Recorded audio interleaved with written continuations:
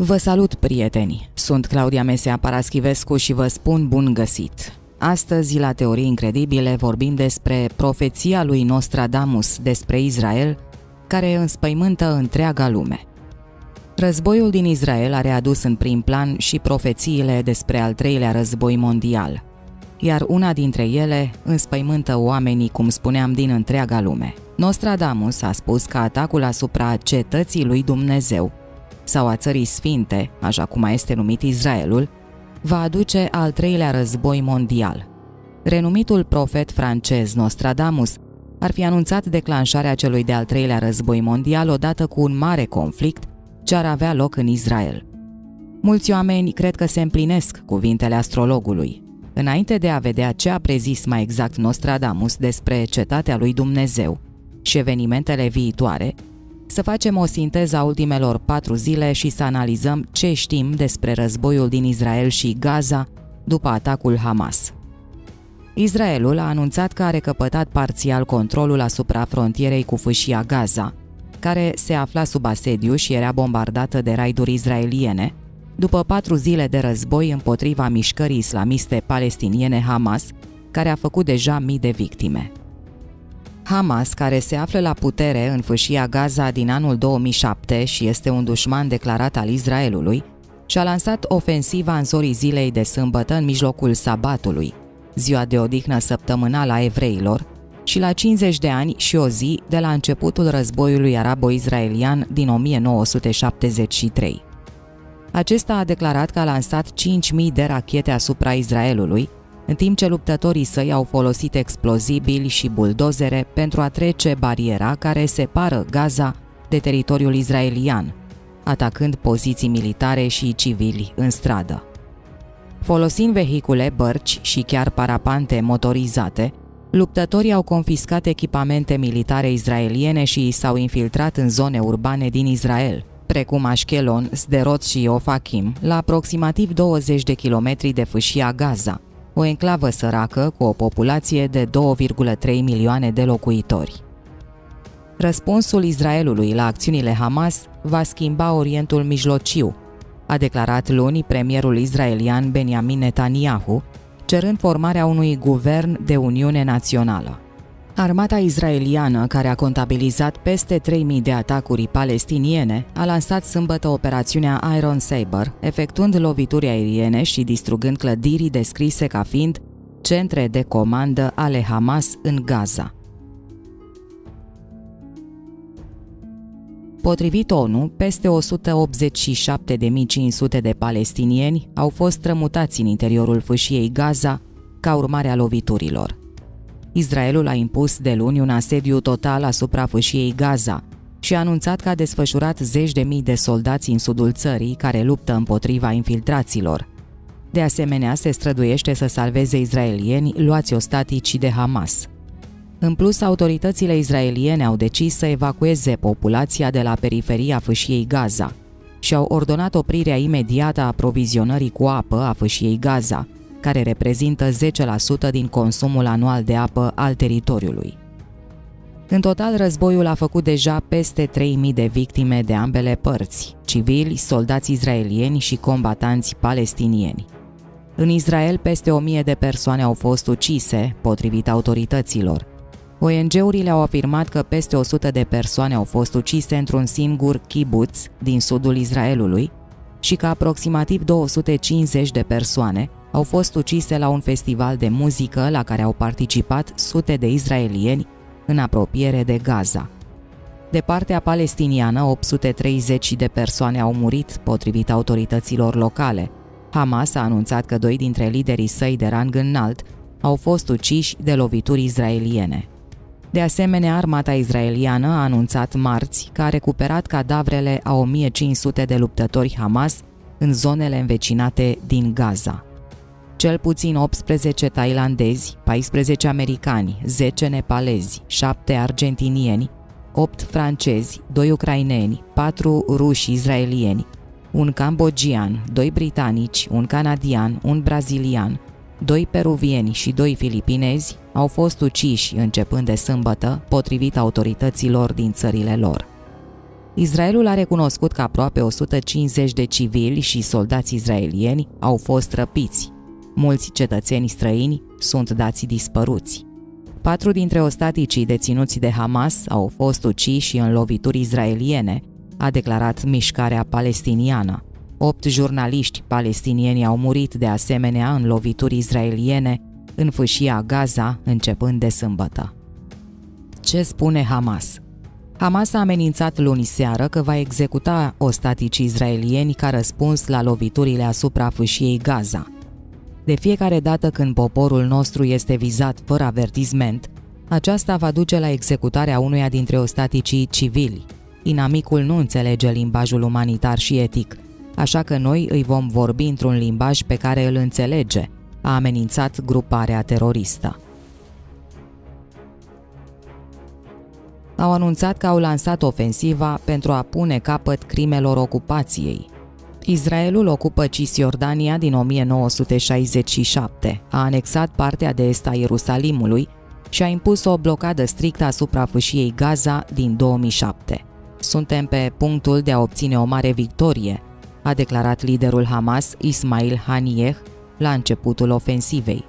Mișcarea a făcut apel la luptătorii rezistenți din Cisjordania ocupată și la națiunile arabe și musulmane să se alăture luptei sale. Profund îngrijorate, Statele Unite au avertizat luni seară Hezbollahul libanez să nu deschidă un al doilea front împotriva Israelului după ce mișcarea pro-iraniană, bestia neagră a Israelului, a bombardat două unități izraeliene ca răspuns la moartea a trei dintre membrii săi în urma bombardamentelor izraeliene într-o zonă de frontieră din sudul Libanului. Anterior, luni, brigăzile Al-Quds, aripa militară a jihadului islamic palestinian, care pretinde că susține Hamas, au revendicat o operațiune de infiltrare pe teritoriul izraelian din Liban. Armata izraeliană a declarat că a ucis mai mulți suspecți înarmați care s-au infiltrat pe teritoriul izraelian dinspre teritoriul libanez.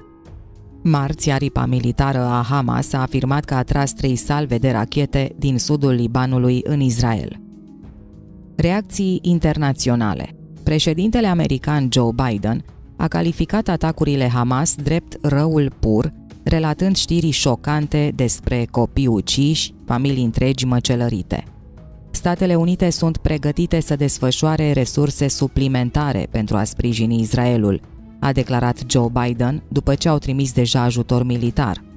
ONG-urile au avertizat de asemenea cu privire la situația sanitară din fâșia Gaza, solicitând crearea unui coridor umanitar pentru a sprijini răspunsul medical, în timp ce Ministerul Sănătății din enclavă a avertizat că lipsa de provizii și medicamente va duce la o situație catastrofală.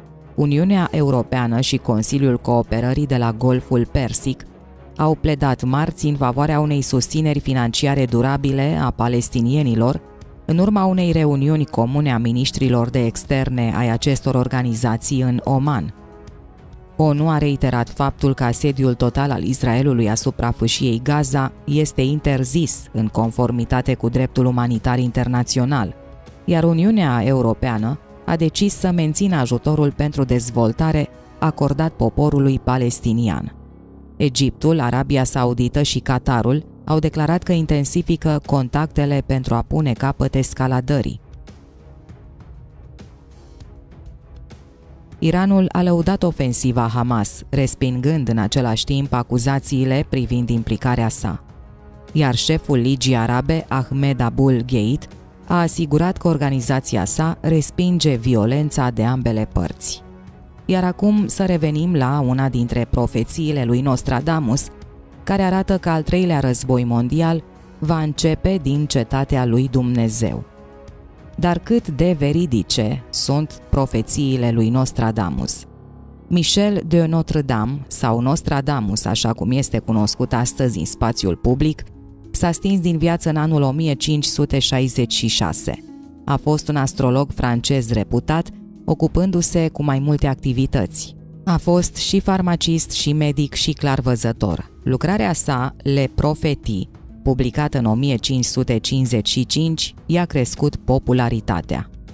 Le Profetii reprezintă o colecție de 942 de catrene poetice, despre care se spune că ar prezice evenimentele ce vor urma să aibă loc pe planeta Pământ.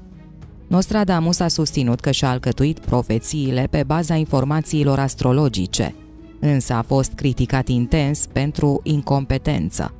Cercetările efectuate asupra profețiilor lui Nostradamus arată că o mare parte din le profetii parafrazează colecții de preziceri antice în legătură cu sfârșitul lumii, în principiu bazate pe Biblie, completate cu diverse referiri la evenimente istorice proiectate în viitor.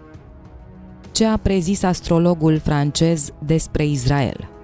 Nostradamus a vorbit despre al treilea război mondial, iar în catrenele sale vorbește despre momentul în care va arde cetatea lui Dumnezeu.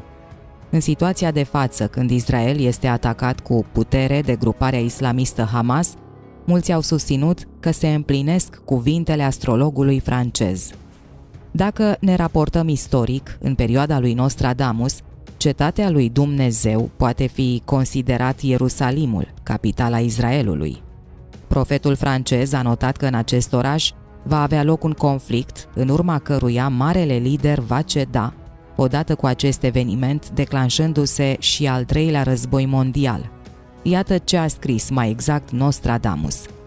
În cetatea lui Dumnezeu va fi un tunet mare, doi frați sfâșiați de haos, în timp ce cetatea rezistă. Marele lider va ceda, al treilea mare război va începe când marele oraș va arde în contextul atacului Hamas asupra Israelului, dar mai ales a urmărilor acestui atac, acest catren poate avea o cu totul altă însemnătate. Marele război din 2023 și apariția Antichristului. Nostradamus a vorbit și despre un mare război în anul 2023. În publicația apărută în urmă cu mai bine de 450 de ani, Nostradamus scrie despre 2023 următoarele. Șapte luni de mare război, oamenii morți din cauza faptelor rele. Ruen, Evreo, nu vor cădea în mâinile regelui. De asemenea, Marele Profet a prezis că în jurul anului 2023 va apărea al treilea antichrist. Celebrul profet i-a indicat pe Napoleon și Hitler drept primii doi antichriști. Antichristul îi anihilează foarte curând pe cei trei. 27 de ani va dura războiul lui. Necredincioșii sunt morți, captivi, exilați, cu sânge, trupuri umane, apă și grindină roșie acoperind pământul, scria Nostradamus. Situația este complicată cei drept în Orientul Mijlociu. Atacul fără precedent al Hamas riscă de asemenea să submineze încercările de normalizare dintre Israel și Arabia Saudită, un greu din Orientul Mijlociu. Aceste negocieri sub egida Statelor Unite și încă în desfășurare ar putea face ca Arabia Saudită să recunoască Israelul în schimbul garanțiilor de securitate americane. Pe 20 septembrie, prințul moștenitor saudit Mohammed Ben Salman supranumit MBS, a raportat progrese în apropierea de Israel, dar a cerut progrese în problema palestiniană, considerată o prioritate de tatăl său, regele Salman. În acest sens, momentul atacului Hamas nu este banal, potrivit specialiștilor. Acesta este în mod clar un efort de a pune capăt procesului de normalizare israeliano-saudit și cred că Hamas are șanse foarte mari de a realiza acest lucru, a spus Hussein Ibish. Mi se pare că Israelul se află într-o situație imposibilă. Orice face pentru a încerca să împiedice acest lucru să se întâmple din nou va însemna mai multă suferință pentru palestinieni, mai multă ocupație, mai multe restricții și mai multă brutalitate din partea israeliană, a continuat el. Atunci va fi mai dificil pentru saudiți să meargă înainte, a spus Hussein Ibish. Nu știm sigur dacă profeția lui Nostradamus se va îndeplini, dar interesantă este o declarație a liderului naționalist rus Vladimir Jirinovski, făcută în 2019. Îmbrăcând parcă haina unui profet, Jirinovski a spus următoarele. Au fost ultimele alegeri. În 2024 nu veți avea alegeri, pentru că nu va fi nicio țară numită Ucraina. Nu țineți cont de situația din Orientul Mijlociu. Se vor desfășura astfel de evenimente încât toată lumea va uita complet ce este Ucraina. Lucrurile se îndreaptă către al treilea război mondial. Iranul nu este Vietnam, Corea de Nord sau Kosovo. Cele mai groaznice evenimente se vor întâmpla aici și țara ta s-a terminat. Aceste previziuni au fost formulate în 2019 de către liderul naționalist rus Vladimir Jirinovski, care a trăit între anii 1946 și 2022 într-o discuție cu unul dintre oponenții săi ucraineni, în cadrul unui talk show politic la postul de televiziune Rosia 24. Publicația greacă War News 247.gr a preluat și difuzat momentul în online. Se pare că profeția lui Jirinovski se împlinește după ce la sfârșitul săptămânii trecute militanții Hamas au atacat Israelul. O mie de palestinieni din forțele Hamas, conform Reuters, folosind motociclete, mașini cu platformă și parapante, au atacat Israelul, au luat prizonieri și au ucis câteva sute de izraelieni, lansând mii de rachete asupra vecinului său. Fâșia Gaza, controlată de organizația Hamas, locuită de urmașii refugiaților palestinieni din războiul arabo-israelian din 1948, este unul dintre teritoriile cu cea mai mare densitate de populație din lume. Circa 2 milioane de locuitori pe o suprafață de 360 de kilometri pătrați. Oricât ar părea de incredibil, o mie de oameni au îndrăznit să atace Israelul, care dispune de cel mai modern sistem de apărare, cu peste 170.000 de persoane sub arme, și se presupune cel mai bun serviciu secret din lume, Mossad, cu 1200 de angajați după unele estimări. Cu o suprafață de 20.770 de kilometri pătrați și circa 10 milioane de locuitori, raportat la entitatea non-statală care este Fâșia Gaza. Atacul a surprins mapamondul. Blogul israelian Times of Israel formula câteva întrebări legitime pentru cetățeanul de rând, anume Poate că merită să ținem cont de trei lucruri pe care le-am văzut acum în această tragedie. Prima, că orice am spune, cei mai mulți dintre noi ne trăim viața de zi cu zi crezând că instituțiile statului au capacitatea și ne pot proteja. Unul dintre șocurile teribile ale acestui fapt este că nu am fost protejați. Cum au lăsat să se întâmple asta? Cum au reușit să nu-i observe cei de la informații? Cum de armata nu i-a blocat? Întrebările nu sunt numai ale izraelienilor, ci și ale comunității internaționale. Aliații Israelului, serviciile de inteligență americane și britanice, unde erau? Ori erau. Publicația rusă topwar.ru consemnează declarația șefului serviciilor secrete egiptene Abbas Kamel, care ar fi transmis cu două zile înainte omologilor săi izraelieni informații privind pregătiri militare în desfășurare în fâșia Gaza. Iată ce a declarat Abbas Kamel. Colegii izraelieni au reacționat extrem de pasiv la mesajele noastre – am fost foarte surprins de acest fapt. Le-am spus că în Gaza începe ceva groaznic, dar reacția a fost extrem de pasivă. Guvernul israelian a spus că afirmațiile șefului serviciilor secrete egiptene sunt incorrecte și eronate, chiar mai mult minciuni. Oricum nu mai contează.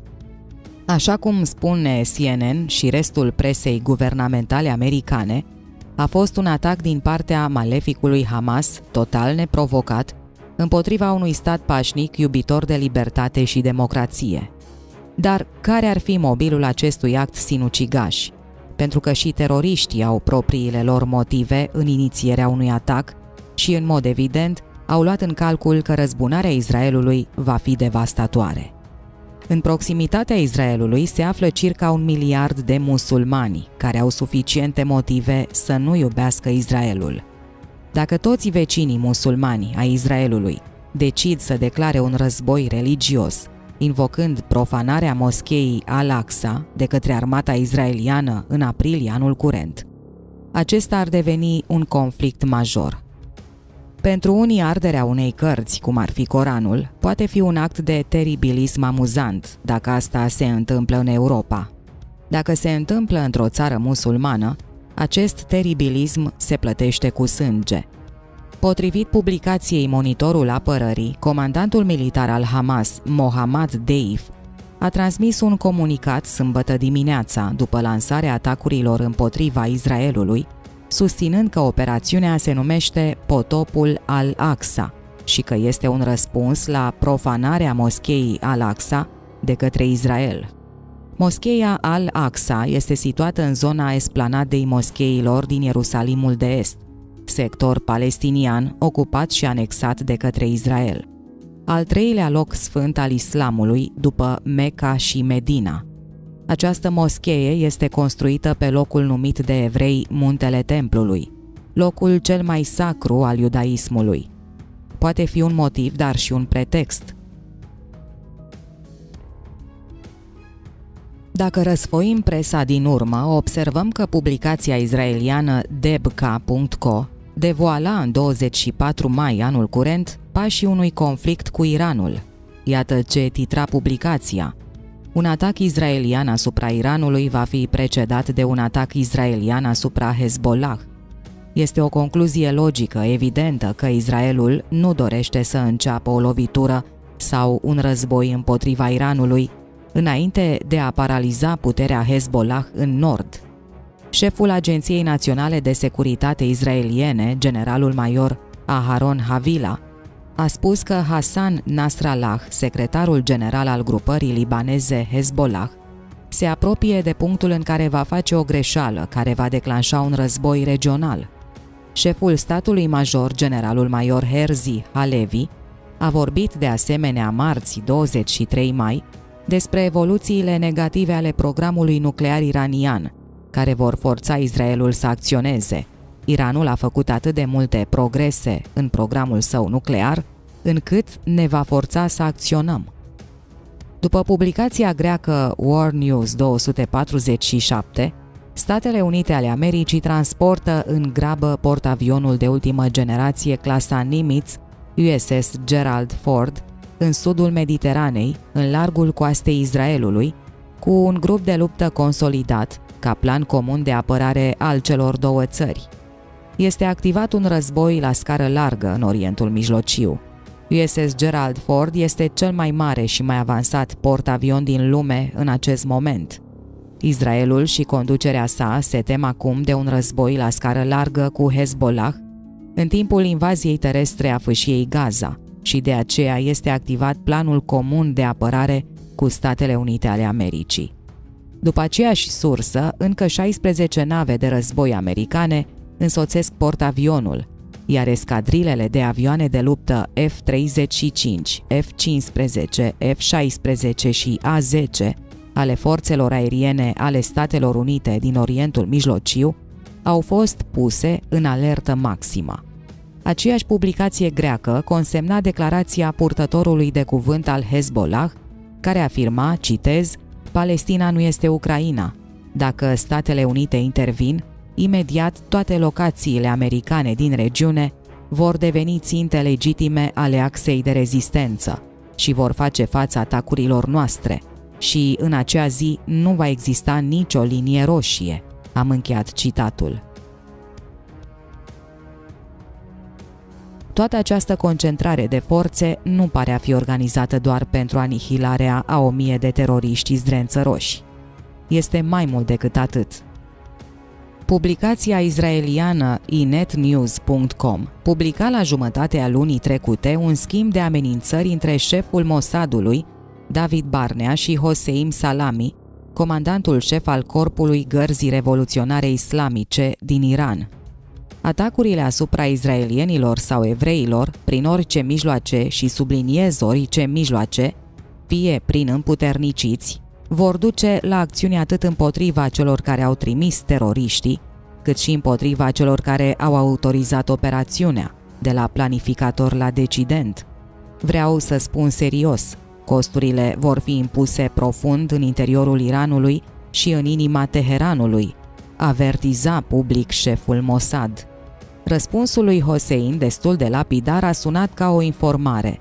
Ar trebui să știți că, dacă amenințați securitatea Iranului, vom avea mai multe opțiuni și viața voastră va fi scurtată, a declarat Hossein. Că lucrurile se văd în mod diferit, funcție de perspectiva de abordare, o constituie și poziția Organizației pentru Cooperare Islamică, OCI, care a condamnat agresiunea militară în curs a Israelului împotriva poporului din Palestina, subliniind că principala cauza celui mai recent conflict sângeros este nerespectarea de către regim a drepturilor legitime ale palestinienilor, titra publicația israeliană Press TV. Conform aceleiași surse, Secretariatul General al OCI a cerut Consiliului de Securitate al Națiunilor Unite să acționeze pentru a proteja palestinienii împotriva agresiunii izraeliene și să sprijine măsurile care ar putea pune capăt deceniilor de ocupație izraeliană a pământurilor palestiniene. Intervenția Statelor Unite ale Americii în acest viespar ar putea marca pentru președintele Biden o performanță unică, primul președinte american care ar putea pierde trei războaie, Afganistan consumat, Ucraina în curs, Israel în perspectivă, într-un singur mandat. Locul 4 ar fi conflictul China-Taiwan. Din punct de vedere economic, China a câștigat deja. Prieteni, atât pe acest subiect. Vă mulțumesc ca de obicei pentru atenție și vă aștept cu drag și data viitoare. Pe curând!